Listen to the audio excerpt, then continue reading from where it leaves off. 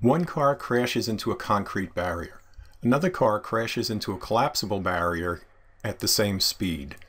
Collapsible barrier could be made out of big containers full of water or sand or just a very uh, bouncy metal that kind of acts like a spring. And what's the difference between the two crashes? Select two answers.